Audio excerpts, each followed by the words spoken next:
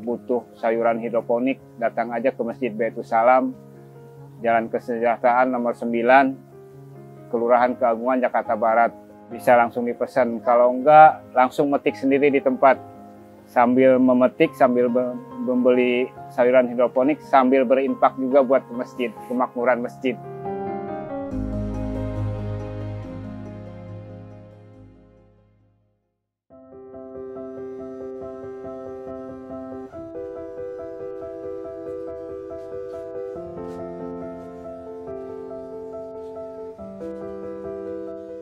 Perkenalkan nama saya Sopian, usia saya 43 tahun, profesi wira swasta.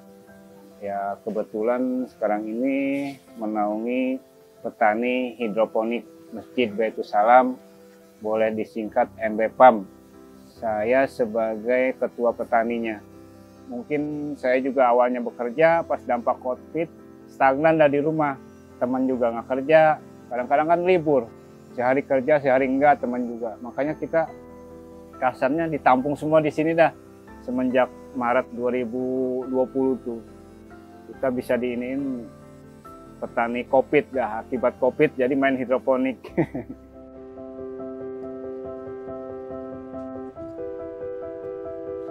Awal mulanya sih nggak kecetus langsung main di hidroponik.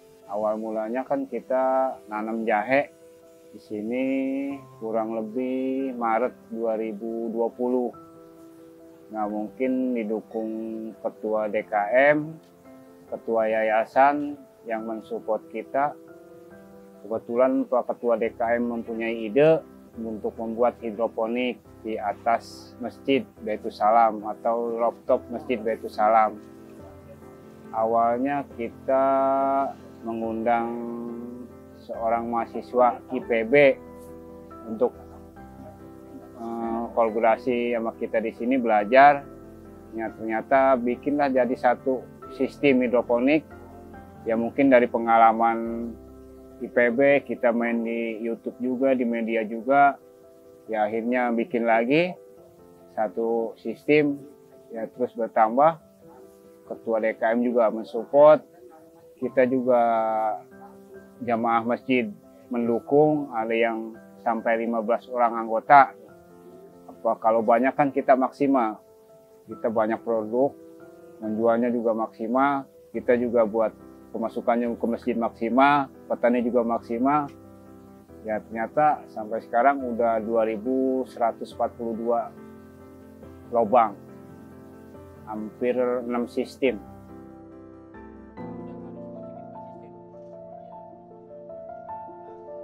Nama saya Pak Yono, saya umur 45 tahun.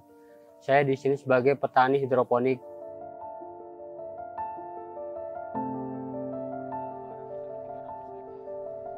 Sekarang saya lagi menyemai, masukin hasil nyemai. Hasil nyemai umur, umur kurang lebih seminggu. Jadi untuk masukkan ke sistem. Biasanya kalau sekali pasang itu ada 200 sampai 300 naik pot jadi kurang lebih 200 sampai 300 nepot ini. Nah ini kalau bisa nih satu rokul ini satu. Soalnya ini pagoda dia akan mekar lebar gitu.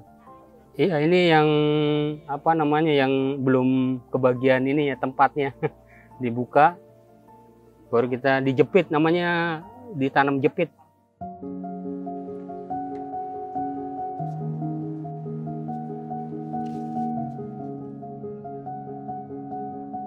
Perawatan kayak kita kan hidroponik itu otomatis kan main air. Ya main air sama nutrisi otomatis kalau perkembangannya udah 10 hari itu haus banget. Pasti tiap hari mesti dikontrol dari airnya dari nutrisinya. Nutrisi kebetulan kita beli. Ya kadang-kadang kita dari bantuan dari KPKP dari pembina juga apa barang kita yang kosong nih. Ada nggak di sana? Kalau ada saya kita minta itu juga kebantu juga.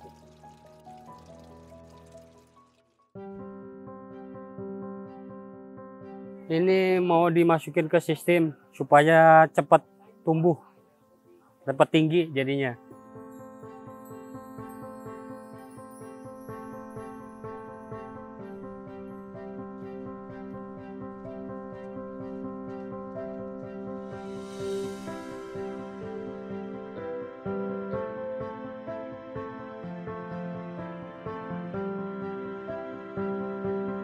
Iya, ini namanya masukin ke sistem. Ini karena udah umur satu minggu. Jadi lewat dari satu minggu dia akan eh, namanya kutilang kecil. Jadi batangnya kecil, dia akan tumbuhnya kurang maksimal. Kurang lebih kalau udah nyampe ke di sistem ini eh, 20 hari. 20 hari udah harus panen. Kalau iya maksimal itu 20 hari. Eh kalau hambatan sih kayaknya enggak ya. Kalau sayuran ini emang harus di bawah 25 hari gitu. Jadi kalau misalkan eh apa harus di bawah 25 hari itu harus panen. Jadi kalau ada pembelinya langsung langsung dipanen umur 20 hari.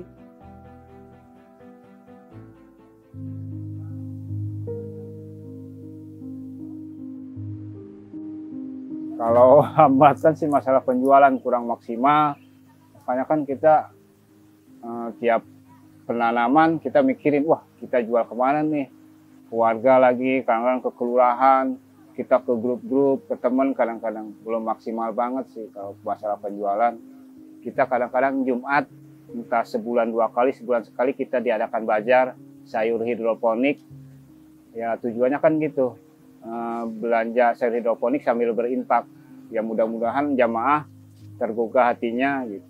Kita kan fokus ke masjid, minit usaha masjid gitu. Ya alhamdulillah masjid juga dapat suntikan pembayaran PAM masjid. Alhamdulillah dari penghasilan penjualan sayur ini. Kita hampir 6-7 bulan PAM masjid semua kita yang bayarin. Alhamdulillah.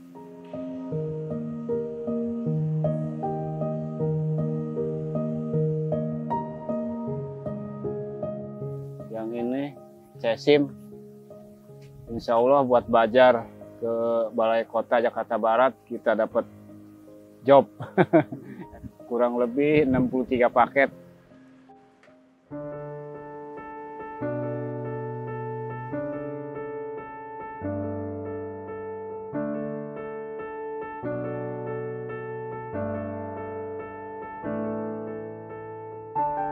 Hasil panen.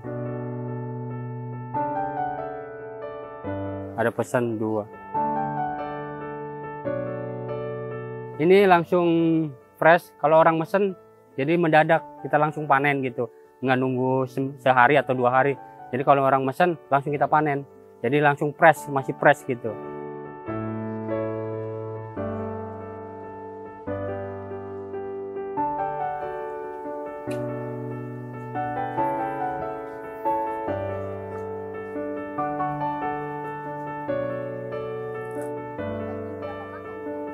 Untuk dua paket. Satu paket minimal 500 gram ya.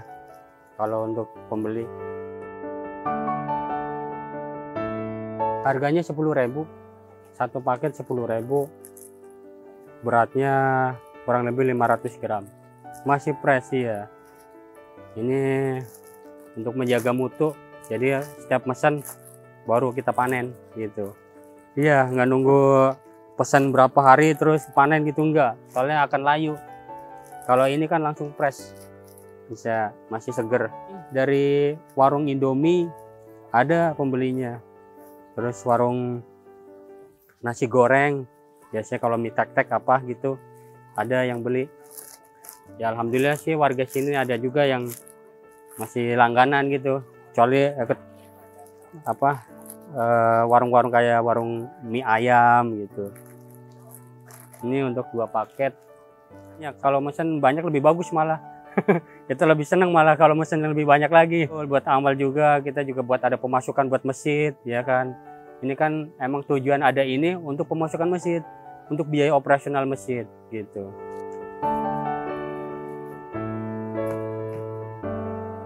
Keuntungannya satu nutrisinya apa? Proteinnya. Proteinnya itu lebih tinggi. Lebih tinggi non pestisida lebih fresh dibanding sama yang tanah ya.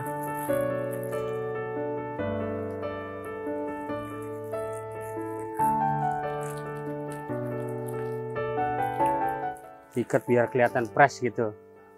Biar kelihatan rapi. Cuman ini lagi nggak ada labelnya aja nih. Biasanya ada label MB Pump. Iya udah ada namanya di ininya. Cuman lagi nggak ada stikernya lagi habis. Jadi belum nyetak lagi biasanya ada udah langsung ada Hmm. Hmm. ya ini dua paket 20.000 aja cukup 2000 20.000 fresh sehat